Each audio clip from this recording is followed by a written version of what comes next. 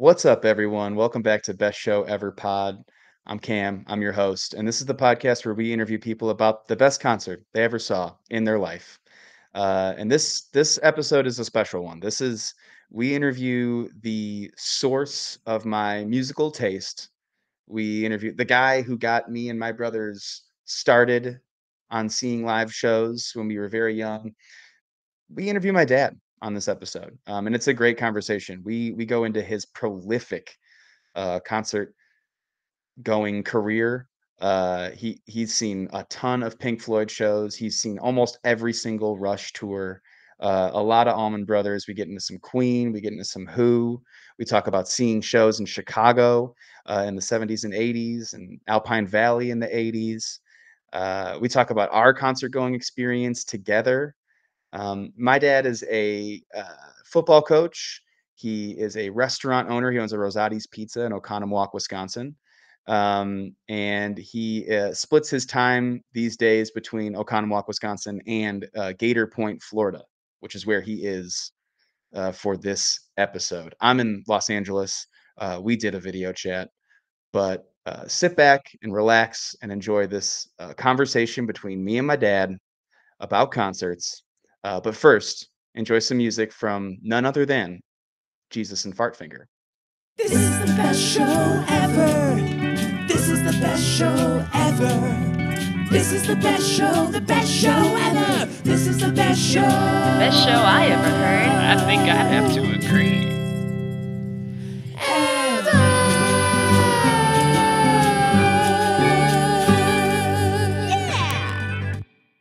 I love it. We're gonna talk about uh we're gonna we're gonna talk about like Chicago and Wisconsin this whole time, and then you're gonna be sitting in Florida and I'm in LA. So we're not even locals anymore.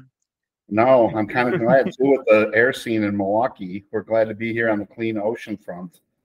That's the same in Chicago. It's like orange skies. Kyle said it was really bad. He had to work outside. He said it was terrible. So Yeah. Bad bad air quality. Which is like that's the whole reason of living in Wisconsin is because you're out in the middle of nowhere, you're not in bad air quality. I got bad air quality all the time. I live in LA. So right, you know that going in. But yeah, Wisconsin's supposed to have crisp, clean air, and you know Chicago's not bad. It's not LA wise, but yeah, both of them are really bad right now. yeah. What else has been up? What are you listening to right now? What am I listening to right now? Duane Yeah. Betts has a new EP out, and he recorded it at Susan Tedeschi and Derek Trucks' studio down in Jacksonville, and it's called "Stare at the Sun." And it's just, uh, I think he's only got one song that's released right now, but it's coming out really soon, and it's really, really good. So I like everybody should check that out. But apparently, when Duane Betts was a little kid, Derek Trucks told him that his dad played gu- guitar and was the only uh, guy that he ever heard that was afraid to stare at the sun, not afraid to stare at the sun. So that's where Duane came up with the title for the EP, and it's pretty good stuff. So Man. yeah, so that's what we're Cool. listening to right now. Marcus King Band, obviously Oh, the yeah. Tedeschi Trucks. Um, I am the Moon stuff, but that was kind of last summer. But we're still always into that. Going to see him in a couple weeks here, and then we're going to New York for the Madison Square Garden show. So that's going to be sweet. Sweet. Yep. Wish we could go to Boston too, but this is not going to happen. So we're going to come out and see you, Mr. Cam, in LA instead. But we're still going to make Sorry. it to New York. So Sorry to ruin the tour. no, no, no, all good. So Well, we're gonna get into your your best show ever, and we'll get into some honorable mentions too. But um, before we do that, I, I kind of want to do first and worst show with you. So your first concert you ever saw, um, and your worst concert you ever saw. Well, the first I ever saw, I didn't pay for technically. Um, if you grew up in Schaumburg, you drove around, there's only a couple things to do. You either tried to sneak into Walter Payton's Disco Studebakers, which for a bunch of white guys like us didn't really go over too well.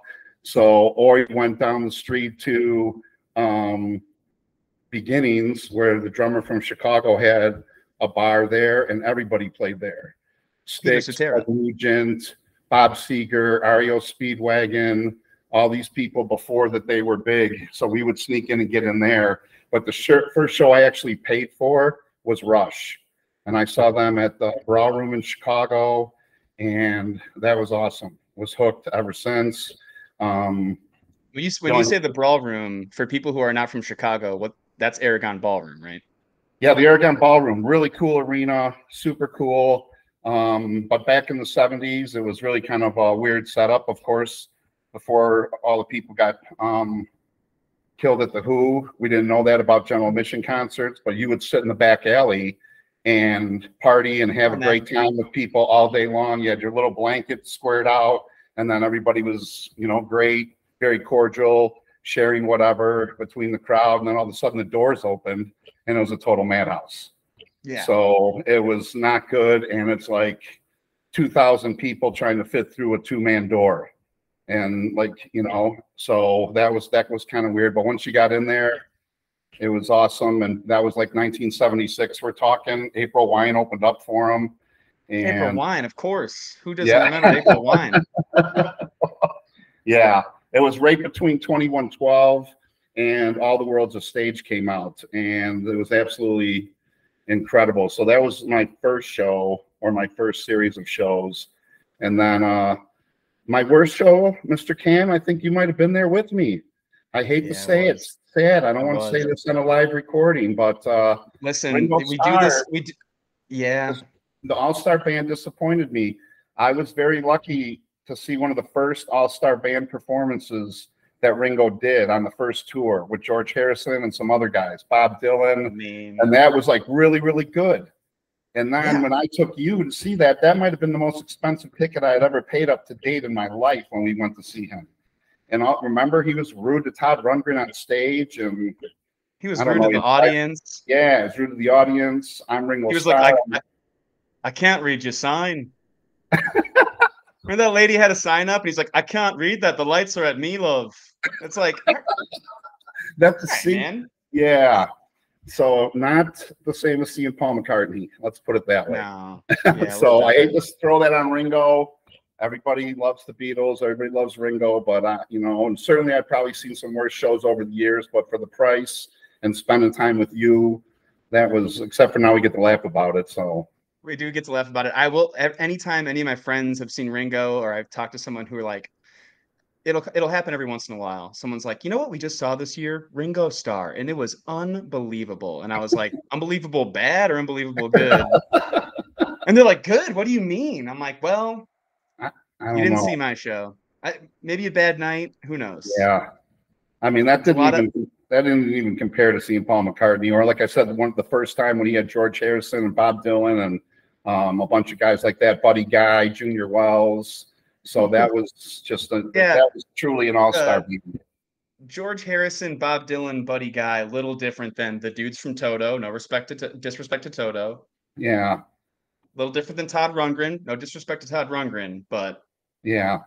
And I don't different. the other guys that he berated on stage because they weren't Beatles, but it was not good. But anyway, enough too much of that.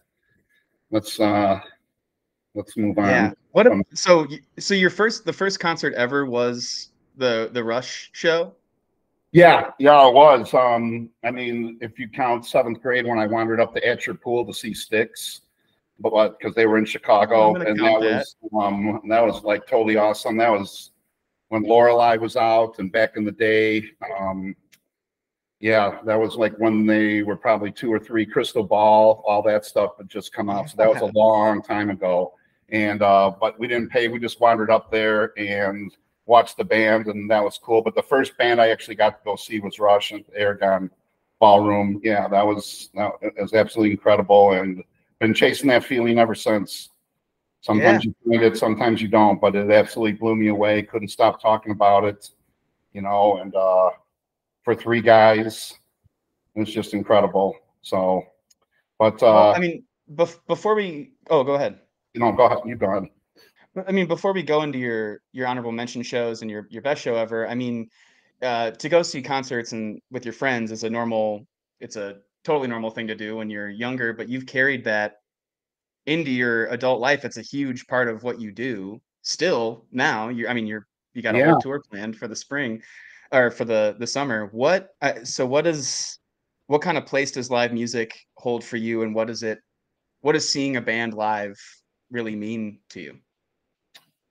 Um, well, you know me, Cam. I'm a football coach or whatever, but um, wasn't ever coordinated enough to play any kind of instruments or every, anything. But was always in love with it, and a lot of my friends, um, most stop it. You're a good guitar player, but um, I, I do like I do like youth pastor guitar. Got like open, got like open chords. I do some drunken ukulele, so that's about it. go.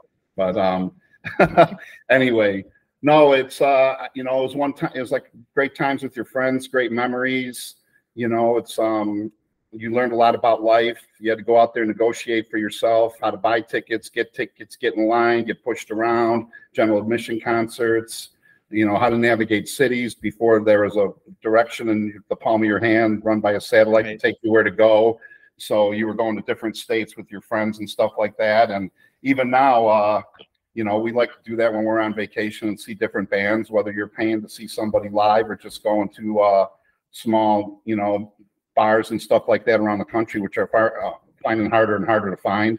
But you know, Yeah. just see some side music and stuff. That Salt Shed in Chicago just opened up. That's interesting. We want to get down there. But uh, you know, it's a way to meet new people too. You know, when you're out there, you've I've met some really great people over the years. So um, to me, it's you know, it's everything. I, you know, there's it's the basis of my life. You know, is you know, those are my recreations. I considered football more of a work thing because of, you know, whatever. But you know, football and golf or football, golf, and, and music. Those are about the only and pizza. Those are about the only things that I I know anything about. So. Well, I mean, the, the pizza store and you know the football that was work for you. That's work, and so this concerts have always felt like y- you don't really have skin in the game. You don't really want to be a part of it, other than being there to have fun. You know. Right, and everybody wants to meet celebrities, and you know, in Chicago, we, you know, you're lucky enough to get backstage here or there, and you know, had Nancy Wilson offer me a rose and tried to get me to get in the limousine and stuff like that. It was totally sweet. Hearts, Hearts, Nancy Wilson. Yeah, that was awesome. And uh, Keith saying that we just missed Roger Waters going through the buffet line when we were backstage for Roger Waters doing the Dark Side of the Moon tour. I was like, "What are you talking about? We just missed Roger Waters going through." So you know, stuff like that. And uh, you know, one of the best ones ever was um, not the greatest show that I saw, but one of the fondest memories was you know before I was married to mom she got tickets to go see Whitesnake, and she was kind of rubbing it in my face. And I wasn't really a big Whitesnake fan at the time, but uh, did have respect for Vivian Campbell and Adrian Vandenberg. So, you know, mom's telling me that she's going. Well, lo and behold, one of my friends is a doorman at the local Hyatt, and that's where Whitesnake ended up staying. So I don't know how he got tickets from them. He helped them out and got some tickets somehow, some way. I don't know how, but uh, we ended up going backstage for that. So I kind of Mom's got tickets. Get, kind of Mom gave got tickets in the crowd. Yeah, she's in the grass, and I'm like, she's like, "What are you doing here?" I'm like, "I don't know, maybe going backstage." So We'll see. at the end, We'll see if it works of- out. at the end of the show, we took turns taking the badge off and putting it on and going backstage. We got like six people back there, and There uh, yeah, it was great. But um, yeah, so about 4:30 in the morning, we're saying goodbye to those guys, guys from the band. We took them out and showed them this local bar out in the woods in Schaumburg that they didn't know about, and uh, they came out there with us. It was great. So about 4:30 in the morning, Adrian Vandenberg's trying to get mom to go on the tour bus with them. So that's when I knew that I had a keeper. Mom was like, "No, I'm with this guy right here." So Oh, there you go, mom. Man, this close. I know. This, this So Still no, that over your people, Like the roadie for Tommy Aldridge gave me some drums that he played, drumsticks that he played that night, and you know that, st- stuff like that. That you know, those are memories that you have forever. So that's what music brings. yeah. Man, does mom still hold that over your head a little bit? She's like, I was never going to go with that guy ever. That's what she said. Right. I know, right? Yeah. Six five, blonde hair, down the middle of his back, millions of dollars, jet rock, plane. rocked a huge show. Yeah, you know, no worries.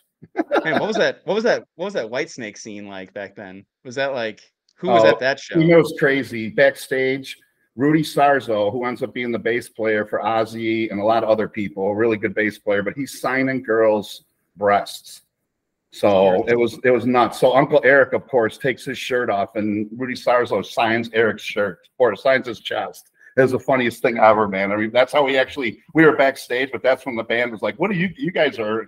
We got a party with Yeah. you guys. So yeah, it was pretty Hell funny. yeah. Yeah. So Eric had Rudy Sarzo ch- signed his chest. I don't know how long the hair. for. Yeah. Yeah. Should have used a sharpie. It could have been there for a while, but no, it's pretty funny though. But yeah, it was you know, what do you think, David Coverdale, the MTV Big Hair Generation? Oh, there's tons of girls back there and tons of guys trying to get back there. I was gonna say, yeah, a bunch of guys trying to show off, yeah. yeah, And you had the passes. You didn't even want to be there, and you had the yeah, passes. no, but That's it was the coolest guy to be. Yeah, it was. You know, yeah, I, I appreciate it. So yeah, Yeah. it was some good Man. metal, but yeah. Unreal. well, um, it's it is very difficult to pick one best show of all time, and so that's why we, we do this little honorable mention section in here. So, um, any any shows that you would be remiss if we didn't talk about a little bit, um, and I'll cap you at like five. okay. I can't go all day, and you've seen Yeah. hundreds of thousands. of Well, shows. it's yeah, it's really hard, but um last Allman Brothers show at the Beacon, we didn't see him the last night. We saw him the night before the last night. And Yeah. that was really awesome. And the first time we when we saw him at the Beacon another time, and Donald Fagen from Steely Dan was there, and Chad Smith from the Chili Peppers oh and man, Devon Allman sang Midnight Rider. Tom Hamilton from Aerosmith was there. Uh, the lead guitar player for a band called The Meters. I forget his name, but he's an incredible Yeah. player. He was there. It was all star cast in New York for our first time at the Beacon, so I remember that show forever. Um, the brothers at Madison Square Garden. Jaimoe put together a 50 year anniversary thing with only guys left that played in the band. You know, um, Marc Quiñones, the percussionist that nobody gives enough credit for for being in Allman Brothers. Oteil, obviously Derek, Warren Haynes, um, uh, the keyboard player. I'm losing his name right now, but he was the original keyboard player before um, Gregg Allman, and then they put Gregg Allman in the band because he knew his brother. No, I'm just kidding. And then I think Wynans went and played with uh, Stevie Ray in Double Trouble, so he didn't do too bad. And Chuck Leavell, who did the original Jessica piano tunes, were there. He's played with everybody from Stones to Clapton to Roger Waters to, you know, David Gilmour. So that show for four hours, like the fourth row at Madison Square Garden, our first time at the Garden, and that was the day before COVID. We were getting dressed for the show, and Mom's like, "So they can't play basketball tomorrow." because of this virus, but we're going to go to a concert there tonight. And I was like, yeah, don't you feel lucky? Nobody knew anything about it, right? yeah. You're So, like, we have the next- tickets, so Yeah. Then the next day they were like, everything's locked down, even the golf. I'm like, when they're locking down golf outside, this is serious. So, but that show right there, those those shows, um, right there, um, obviously, I remember being on the phone with you. I was in Chicago and I was like, you guys should really get back from New York. Have you guys seen that show yet? And you're like, no, it's tonight. I was like, that that's not that's not good. You know, I was like, I was like, they shut everything down in Chicago. It was already like we weren't going back to work the next day, and you were like just stoked on the phone talking about the show that we're about to, you're like, we'll worry about that after I'm Yeah. done with tonight. Any anytime you can be in the presence of greatness of Derek Trucks, besides all those other guys that I mentioned, um, you can't miss that. So I didn't know that about the disease then, and we won't get into that. But yeah, that was one of the, you know, that was one of the highlights. And obviously, um, I'm a big Rush fan, so there's lots of really good ones. The last tour that they did, we saw them in Kansas City, got some big time barbecue, and we also saw them up in uh, Minneapolis, St. Paul. So, but all you know, we saw them pretty much every single tour that I did, every single tour they did. So it's hard to pick out any of those, but those would probably be my runner ups, you know, and everything Pink Floyd, seeing David Gilmour, both tours on an island, and the last one, Rattle That Lock. Me and you got to see that, Mr. Cam, in Chicago. That's he's absolutely incredible. He's my favorite. And I haven't uh, a Roger Waters tour ever from the very first time he left and did pros and cons of hitchhiking with Eric Clapton and Phil Collins and all those guys, all the way up until now. Um, got you got to see him do the wall tour with me there too.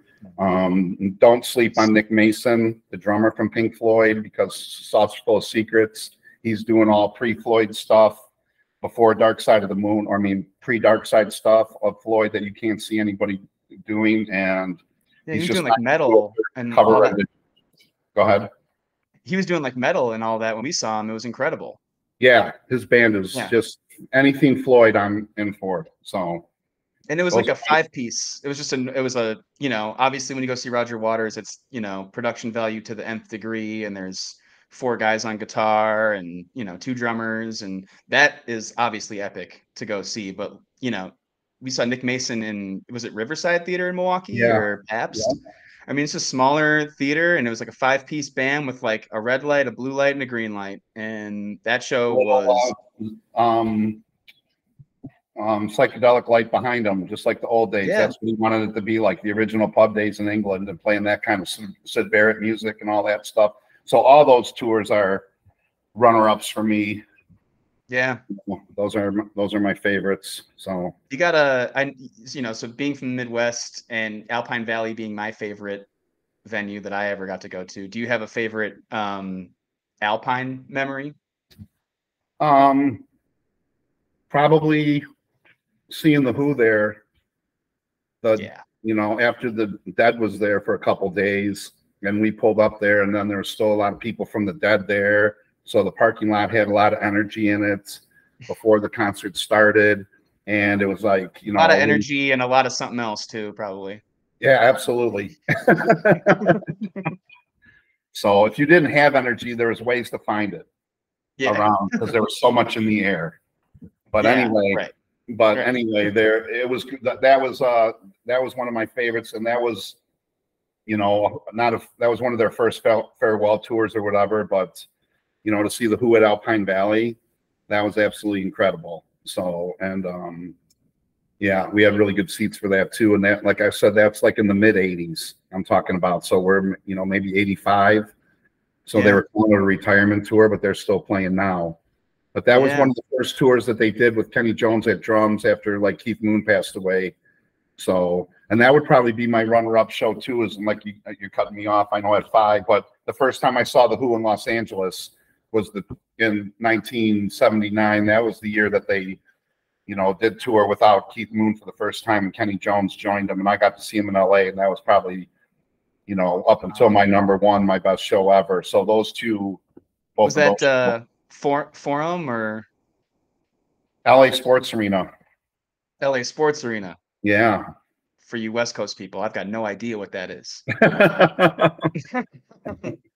cool Yeah. So yeah, that was an old time. That was an old time one. So did it um for me nowadays it is easier for me to get tickets for the things that i want to see out here in la not i mean i moved here like a year ago and i feel like i've been able to see things really cheap where in chicago things some of these shows that i would have seen would have been like hundreds of dollars or i wouldn't have been able to go at all um was it do you think it was easier to see shows in like la and san diego back in the early 80s late 70s Uh, easier to see them here in San Diego or LA or easier to see them in Chicago? easier to see them in Chicago because I I grew up there and I had connections.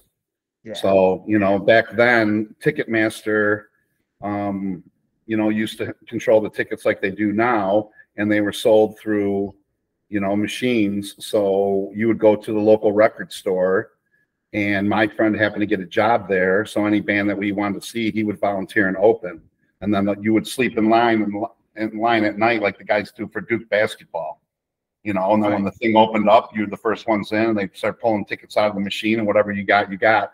So Larry would do that, and then we would get tickets then. That's how we would get our tickets in Chicago. So that was much easier than when I went to San Diego and I didn't know anybody, and I had to actually go to Ticketmaster and stand in line. so So to put it into context for you kids out there who are buying stuff on Ticketmaster now, you get into a queue when you buy tickets now, Yeah. right? So there was a literal queue outside. There's a literal line of people. a literal. and, basi- and basically you and your buddies just kind of skipped the queue and got your Yes. tickets right off the top. and ended up in the first 10 rows mostly to all the shows that we saw while Larry worked there. It's called So work the system. exactly. First time Yeah. tickets out of the machine came for were for our friends, and then everybody, then the regular public went on sale. Were you guys,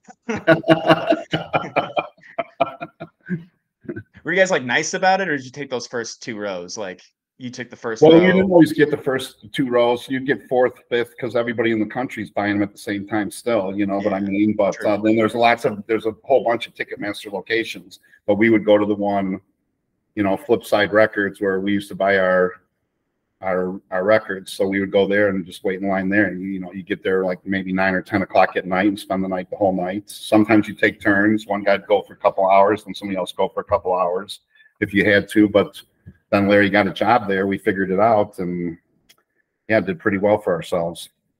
So Shout out Larry. yeah, absolutely. Plus, and you know, there's a Chicago has I don't know, um, I don't want to say bigger venues, but I felt like they had more venues in California than California did at the time. Yeah. You know what I mean? So there's more shows going on, like side shows, not necessarily main headliners are, are gonna all hit the same cities. But you know, the auxiliary, you know, the two and three thousand seat seat places. You know, there seems like there's more of those in Chicago that you could do. Definitely. It feels like there's more um like there's Hollywood Bowl and the Greek Theater and the Forum and now there's SoFi Stadium and a bunch of bigger, you know, bigger venues. Um, but Chicago had more of the like Rivieras, the Aragon Ballroom, Vic. the, the Vic. Yeah. you know, yeah, you know, stuff like that. So those were, you know, those are smaller, you know, the Uptown Theater, Yeah.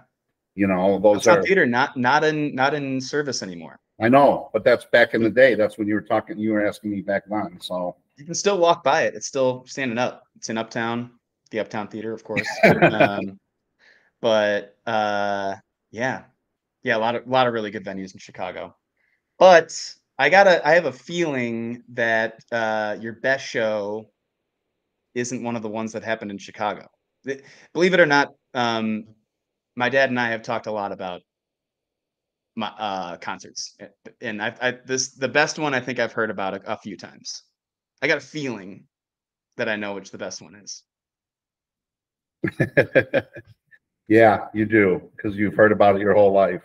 Yeah, And then we're very blessed to uh, get a recreation of it by Roger Waters.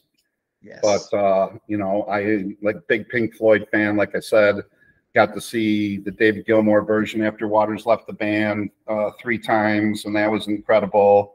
Animals at Soldier Field was incredible, but it's hundred thousand people. You know, the guys are the size of the Monopoly Man. You can't really see them, you could hear them. You know, there's big video boards. yeah, so that was Nope. different, but this was, you know, once again, LA Sports Arena, um, inside for the wall, and the wall had come out, and everybody had heard it, and it was, you know, the first, you, you know, side one all the way through side four. It's one whole story. You couldn't just listen to one song or whatever. They didn't play parts of it on the radio back then. So, you know, you just had every time you sat down, you ended up listening to it all the way through and stuff, and just became enamored with the story as a Floyd fan and things like that. And then heard it was coming, and then heard that they were only going to do seven shows in London, seven in New York, and seven in Los Angeles because they're going to do this extensive tour that they couldn't afford carted around the world back then. So I happened to be lucky enough to be in San Diego at the time, and I was first in line at Ticketmaster, and my friend Larry was not running the thing, and I got the last row in the sports arena, and I was first in line. That's how fast tickets went. Uh, I'm like in two minutes they were gone, and I got two tickets.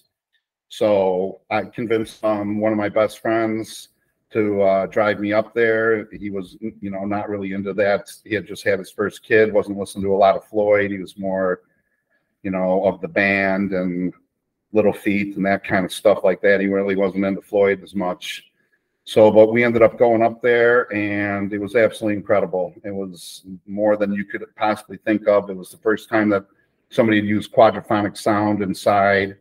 So the, you know, the sound would go all the way around the room besides the plane smashing, you know, the surrogate band when they came out. I'm looking through my binocs because I'm so far back. I'm like, this is not Floyd. My friend's like, what are you talking about? I'm like, this is not Pink Floyd.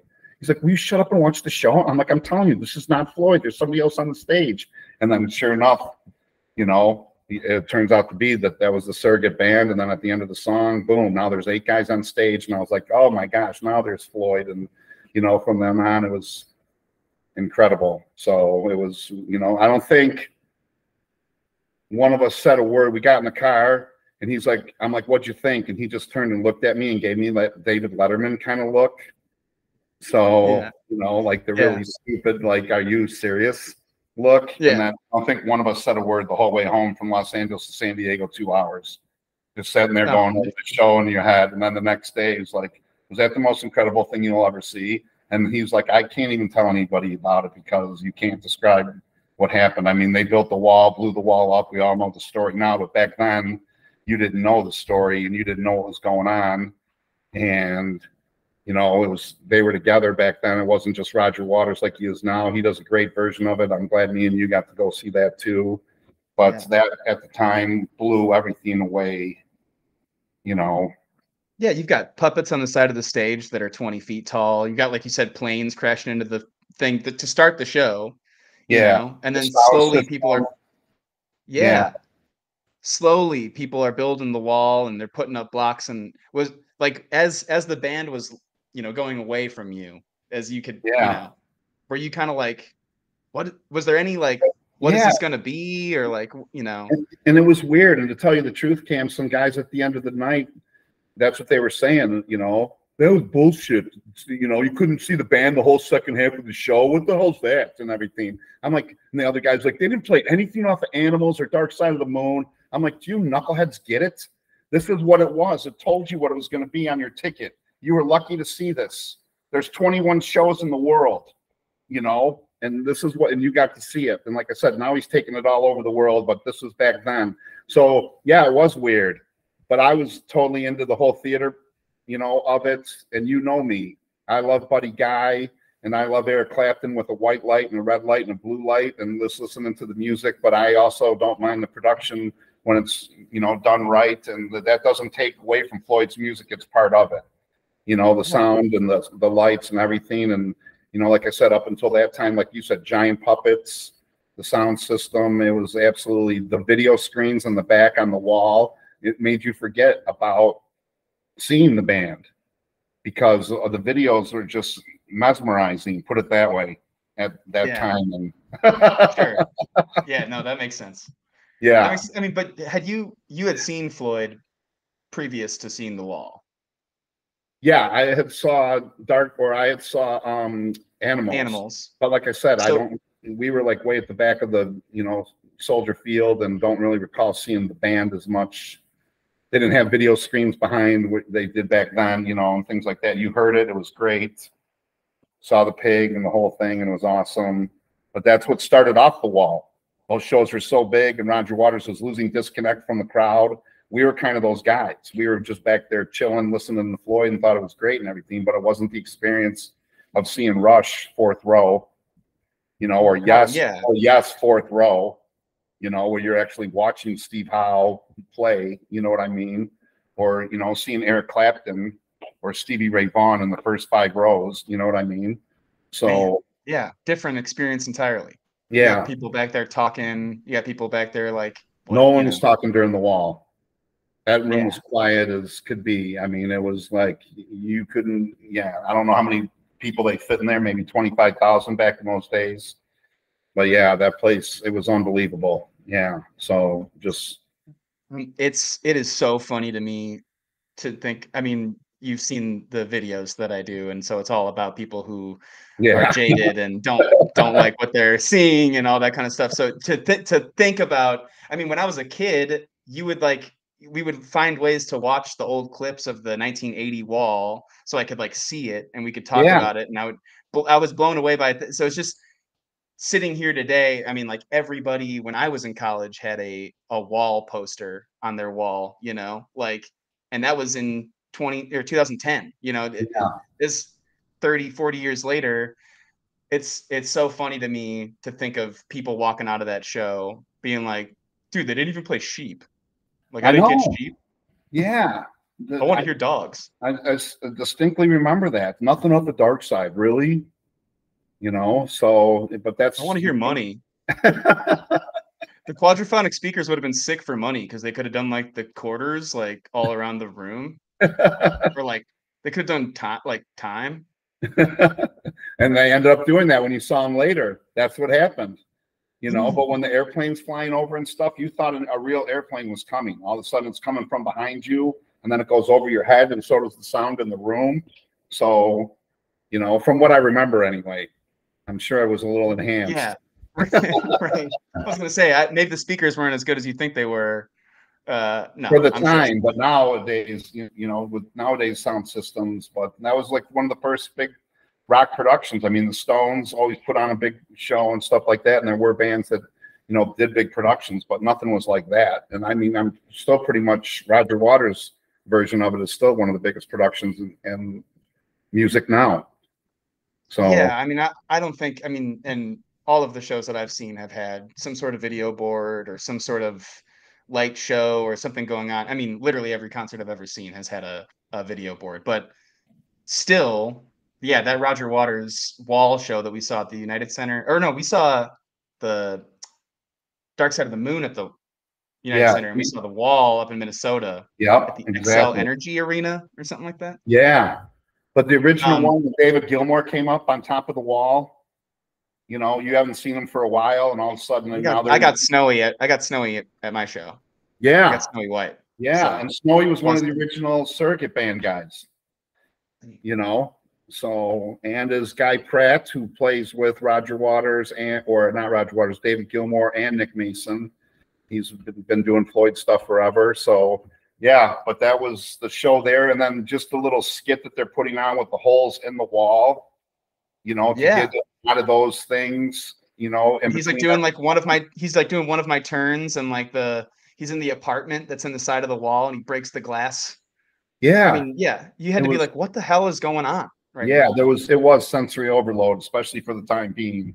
And you, like I said, we literally didn't talk the whole way home from that, and then tried to explain it to people, and they were, you, you can't, you know, you know when you got it doesn't matter who you see and who's your favorite band or your favorite show, you can't when you know you can't describe those feelings to people, you know, only you feel that at the time, and you know, but they'll listen, and sometimes you're lucky enough to be with other people. You know, that's one thing that Bruce and I have. I wish there was more of us there at the time, but it was hard to tickets. But that's one thing I'll always have with Bruce is we got to see the original version of the wall, you know, and that it was that yeah, that was pretty sweet.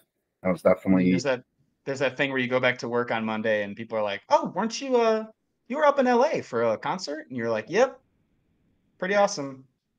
Oh, cool. Good for you. It's like Yeah. that weird little exchange. Like, do you really want to do, do you really want me to tell you? Because it'll be a long it'll be an hour long podcast if I talk about it with you.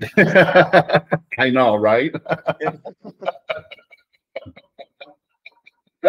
if you if you I, I usually when I come back from Phish or any of that kind of stuff, I'll be like, uh, if you like that stuff, it was really good. And people are like, I don't. So I'm like, great. We're That's a here. good way. That's a good way to do it, Cam. yeah, so- that's my little line. Yeah, Man, but was there I mean, did I hesitate to ask, but was there was there a bathroom song during this? Did you oh or no, was no, there no, anything where not like. So being the dumbasses we were back then, you know me, I'm from Chicago, so I'm not going to sit in the worst seats in the house. So we get there early, and I con my way into main floor, and we're on main floor until the show's just getting ready to start, and then we get booted. And the guy physically takes me out of the main floor now because he's sick of me. But now we're on the mezzanine, right off to the side, and we watch the whole. did you- wait, hold, wait, hold on. Did you like you got in a you tried to stand next to the guy in the aisle and then he's like, no, buddy. No, no, no. We actually just scout around for empty seats. And then you Yeah, move it there, and then all of a sudden somebody would come. So then you had to have two more in mind while you're waiting because you know at any time somebody could come and take their seats. So then I got two over here. Well, some guy must obviously watching me hip hop from seat to seat. And then he's like, All right, you don't have seats down here. Let me see your seats. You know, and then you play that I don't have the ticket thing and try to walk a little bit Oh. faster than him. So oh, it's right, it's right around here somewhere. yeah. What is that? The what is that? The best aisle attendant of all time? Chill out. this is Hall of Fame for you. While I'm messed up at Pink Floyd. I mean, we're this I we're mean- timing this all out perfectly here, and now I got to deal with this guy. I'm just like, I just want to be cool, man. Just like, like- but anyway, I was in the wrong seats. So now we Sure. shove to the mezzanine. Totally awesome. We sit in the same seats in the mezzanine while my friends bitching. This is stupid. Let's just go to our seats. I'm like, go ahead. I know where they are. I'll meet you there. I'm sitting right here. So he stayed with me and we watched probably the whole side one album and a little bit into side two, as I remember correctly. And then all of a sudden people came. Why you would show up then for Pink Floyd doing the wall is beyond me. And there should be a statute of limitations where your seat is up now because you missed the Wow. opening. So no, but anyway, so on the way there, now now all of a sudden my friend's mad at me again now. So now we had to leave, and now we're obviously just going to go to our seats because now you're totally into it. You're in the most mesmerizing show of your life, just totally tranced out, and all of a sudden some guy taps you on the shoulder. Hey, you're in my seat. It's like what? You know. No. So now it's like, all right, let's just go to our seats. So in the middle of the walk all the way from the main floor to the second balcony, we did hit the bathroom then, and then after that, you don't think about going to the bathroom. It was just you just didn't want it to end, Sure.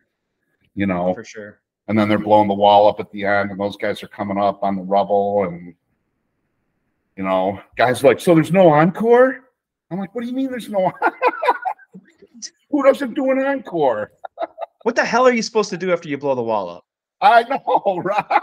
Like they're gonna be on the rubble, like, all right, Thank and here's you. mup here's here's Yeah. Uh, yeah. You on your fearless, crazy yeah. diamond while we're standing on the rubble. Yeah, exactly.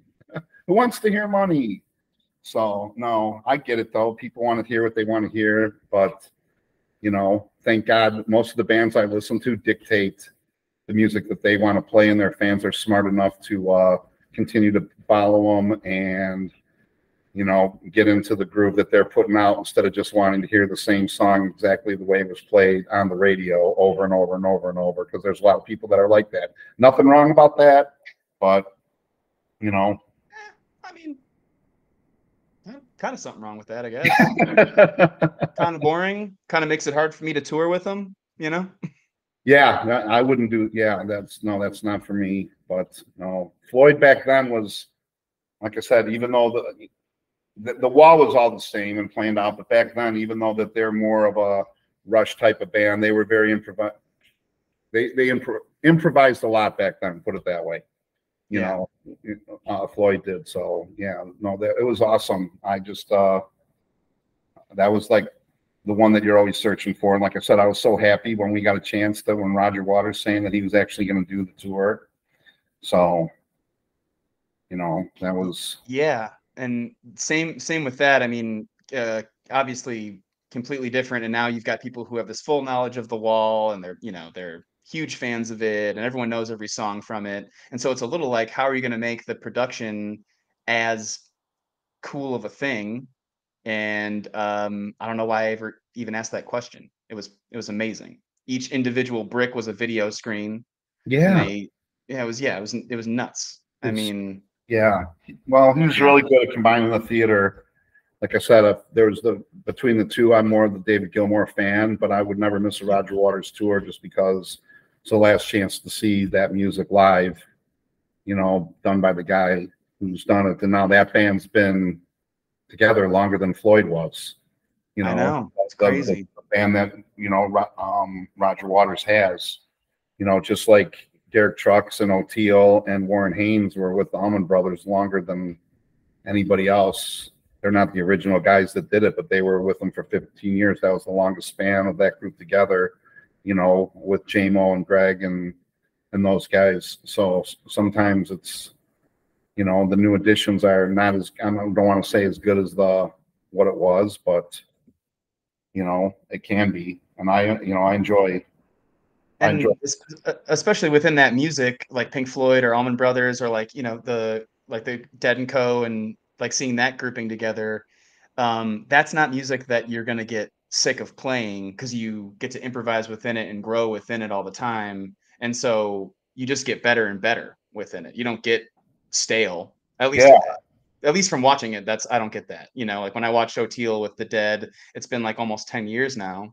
And same with jeff jeff Chimenti from the dead is he's played with the dead longer than any keyboardist Yeah, ever did I, i'm pretty sure and so Right.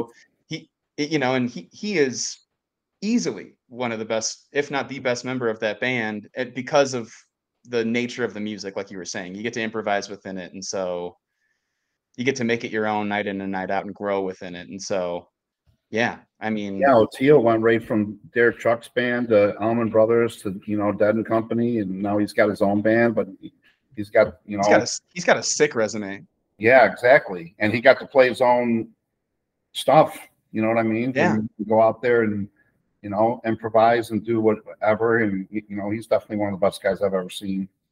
When I when I finally start my band, I think I'm gonna try to get Oteil.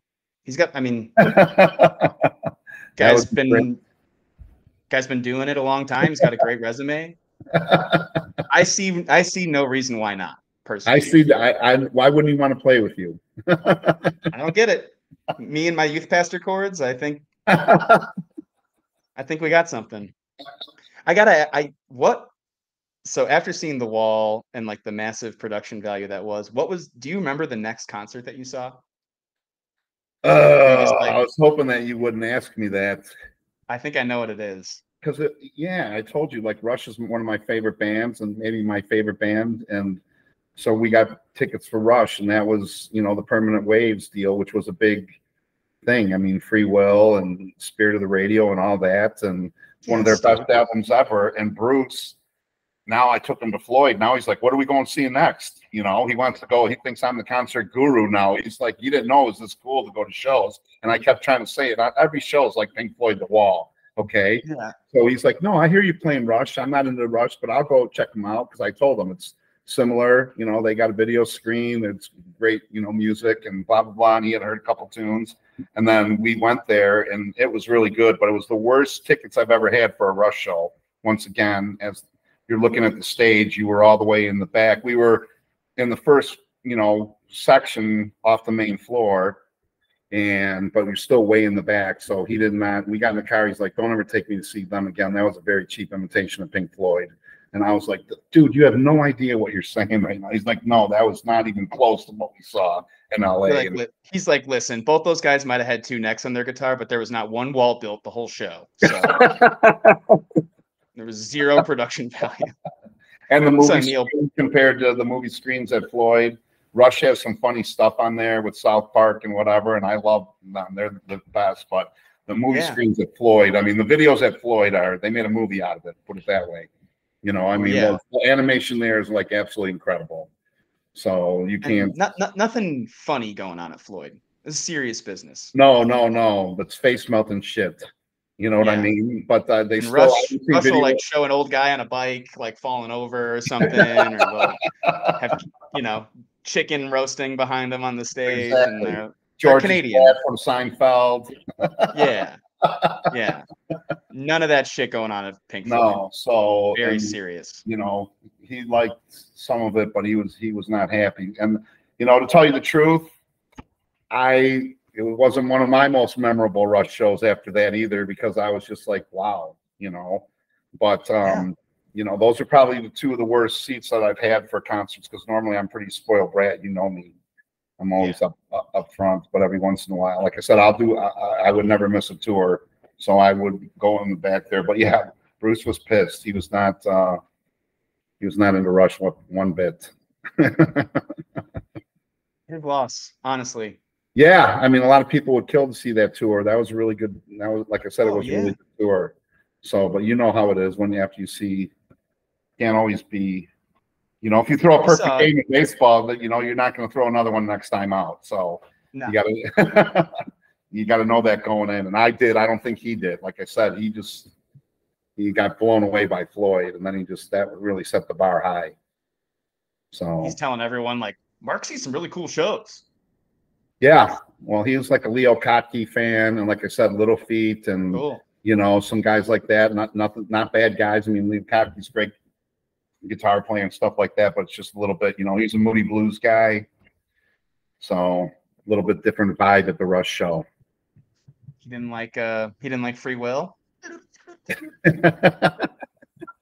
Man, how many times did that band play that song over the next 40 years and you saw one of the first ones? oh, I you know. one, you had have Right? seen one of the first You're limelight. That's what I mean. Like that's what people don't realize. Like now, you guys know this going in, and I appreciate that people your age still, you know, like our music, and that shows you how good it was that it's held the test of time. That your generation and Kyle, you know, and people like that still appreciate these bands.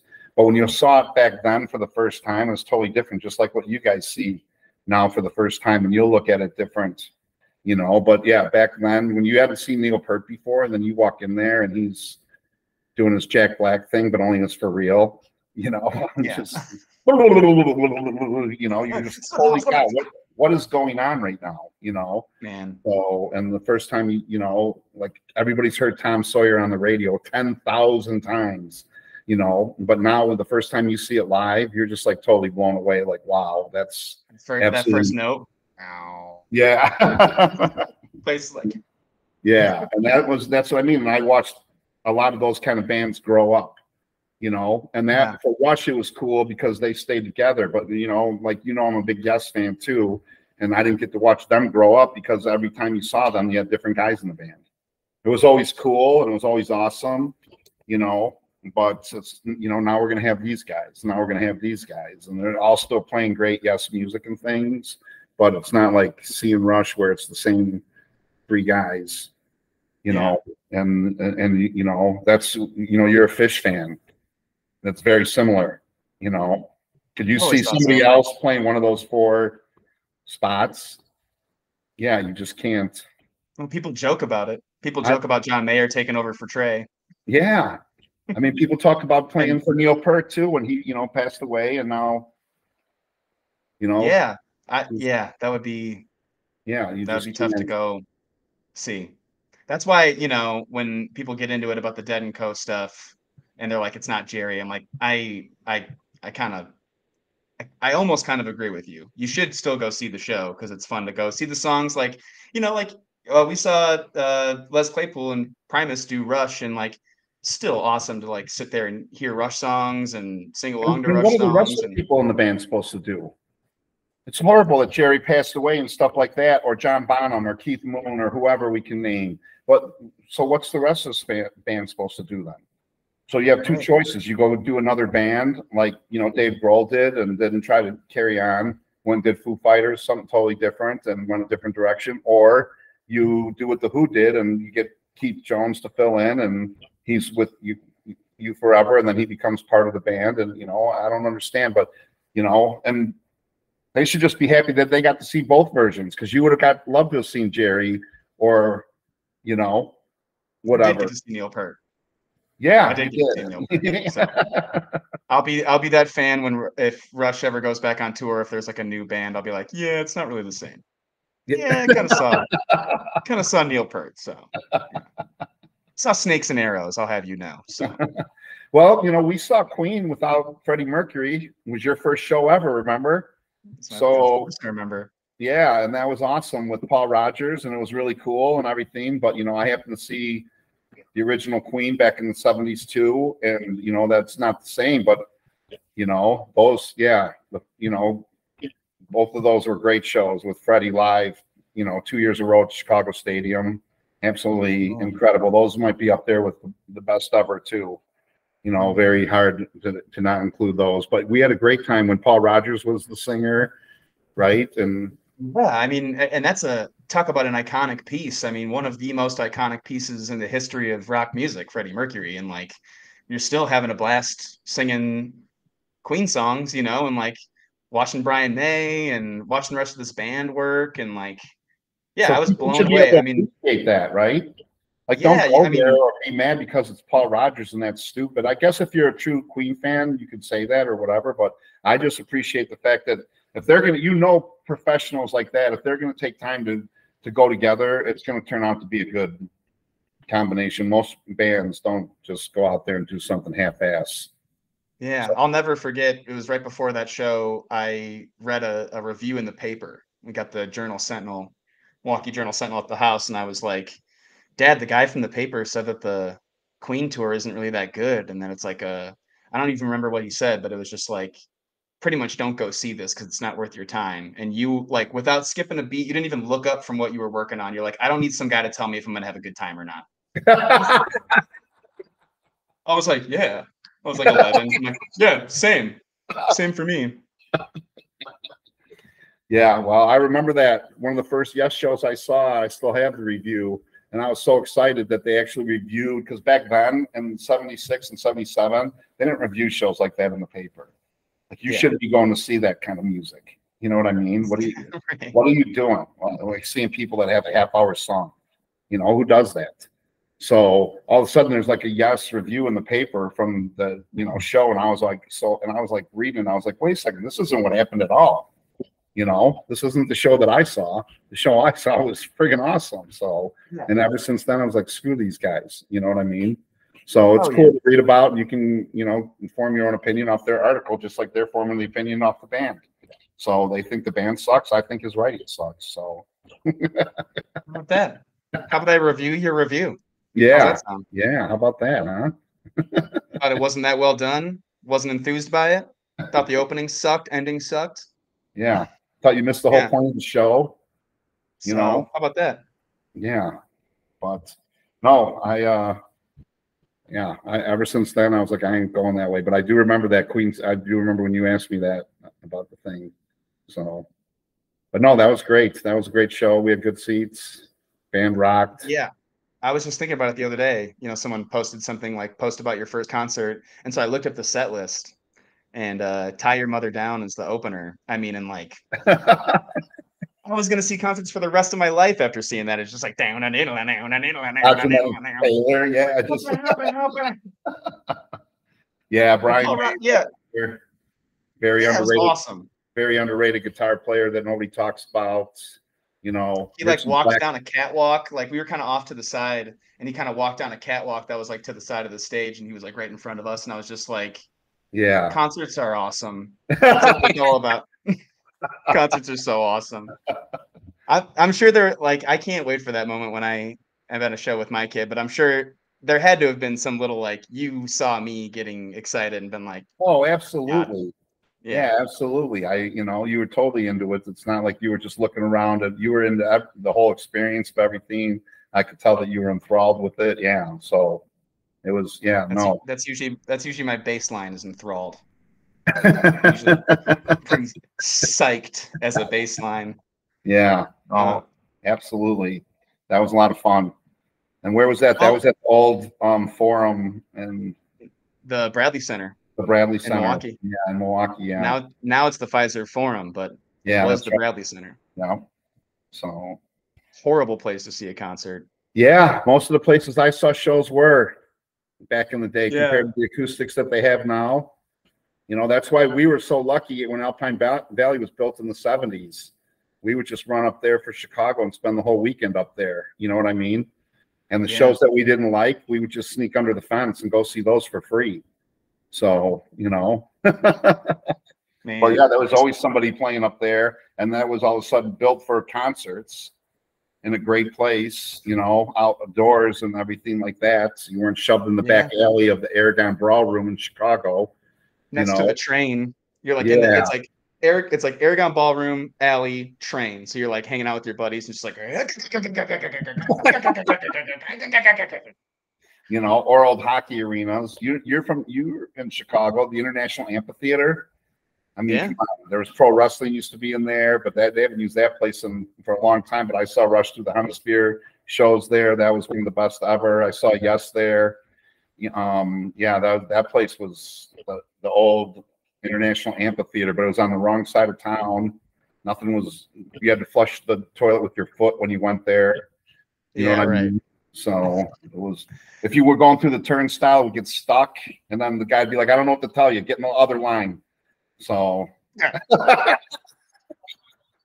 guys in the back, what the heck's going on? You're like, I don't know, but I can't have kids now, and I just wanted to get into the show. right. Well, you you told us a little bit at the beginning of the show, but what's what's the next show you got coming up? We have Tedeschi trucks coming up in Chicago or in uh, Milwaukee at the BMO. There's a new concert arena there right on the water. It's going to be awesome. And then we are going to go see them in um, Madison Square Garden at the end of September, and then come back home and see Steve Hackett from Genesis in Nice. the Pabst Theater. It's the first time I'll be seeing him since I saw him with Genesis back in the 70s. I've never got to see any of his solo stuff. I've been listening up to a lot to him lately because I was watching doing a podcast with Alex Lifeson was on there about his new band, and he was Cool. talking about you know listen, go back and listen to Jeff Beck. Even I know a lot of you older people have listened to Jeff Beck. Go back and re-listen and things like that. And he's like, that's the most influential guitar player. And you know, now that he passed away, he's like Jeff Beck has different genre of music for anything that you're looking for. Jeff Beck plays. But uh, everybody should go back and find some good Jeff Beck stuff. And it's hard, but there's such a great catalog. You can find stuff, Yeah. you know. And um, he's he's one of those guys that yeah, there's there's a lot to find, and so it's kind of hard to find anything, you know. right. And, And then when he recommended. He also said Steve Hackett too was a big influence on him now. And then um, I stumbled on some album that was from 2010. I forgot the title of it now. Shoot, that's what happens when you get old and you see Pink Floyd in the 70s. But um, no, that Steve Hackett stuff is really good. So we're gonna looking forward to seeing him in uh, Pabst Theater. So he's gonna recreate some Genesis stuff, and then he's got a lot of really good solo stuff. But I mean, he's doing Van Halen type stuff on the guitar before Eddie. I'm not taking anything away from Eddie. I got to see Eddie lots of times, and Eddie's incredible. You know, there's nobody else like him, but Steve Hackett is really good too. Anybody going old school wants to see something different. So those are what we have for the end of the year, and then for next year we don't really have anything right now. But those are the only three shows we've got lined up. But it's a lot. do you think you know. um, what do you what do you think the chances are that I can get you to come to a Phish show at the United Center? First Phish show. Yeah, they're playing. They're probably gonna be playing around the time that I released this episode. It's like the 14th, 15th, and 16th Of what? October. Um, I think we That's might like- be in New York then, because we're going to New Haven first to get some New Haven pizza. Oh, Connecticut Yeah. people. What's uh, up? And then going to New York to see the Tedeschi Truck Show. But I'll check. Let's. I'll check my calendar and see. But I would love to go see the Phish Show, and I would love to see Billy Strings. We gotta we gotta see. Yeah, I have not got a chance to see him, and you know he's the my new hot list. It's so it's so funny to me to like I was just like, yeah, we got to catch you up. Like you've seen you just listed like 20 bands that anyone would have loved to see. You've got 150 more that we didn't even talk about on this podcast. But I'm like, you really got to go see King Giz and the Liz Wiz with me for sure. oh yeah, I've been. You- You you were right about them. I like them. You know. Yeah, I knew Yeah, you would. kinda- you know, I don't know anything about them yet, but I can tell that that's a very good band. I, you know, I'm always like, you know me, I like to find new stuff. Yeah. You know, No, I mean, you like you uh were showing me stuff that my friends were listening to. I think like the first time I ever listened to Incubus was like in your car, and you're like, "These guys are good. You should listen to them." And then like my friends like two my friends like two years later are like, "Incubus is great." I'm like, "Yeah, my mom and dad like them." So now they didn't like them anymore.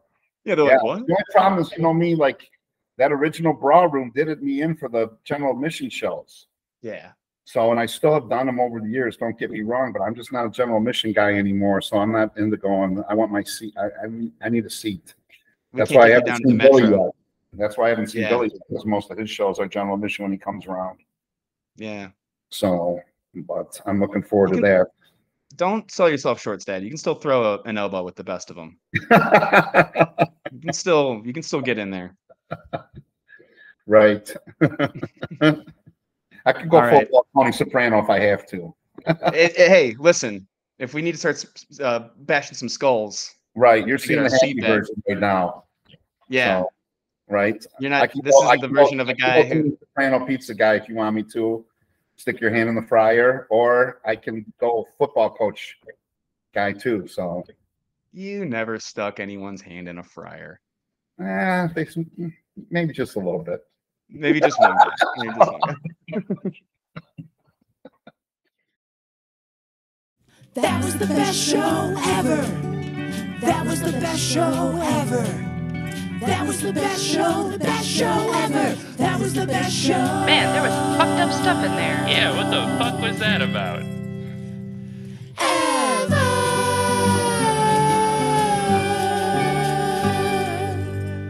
All right. Well, that was some music from Jesus and Fartfinger again, and also a conversation with my dad. Uh, we had a blast. We had so much fun talking about stuff that we've talked about ten thousand times already together. Um, hope you guys enjoy that one. We have got a lot more special episodes coming up. Uh, so keep keep in touch, keep tuned in. Uh, look out for best show ever pod posts and and stuff coming out. Uh, but until next time, guys, have a great show.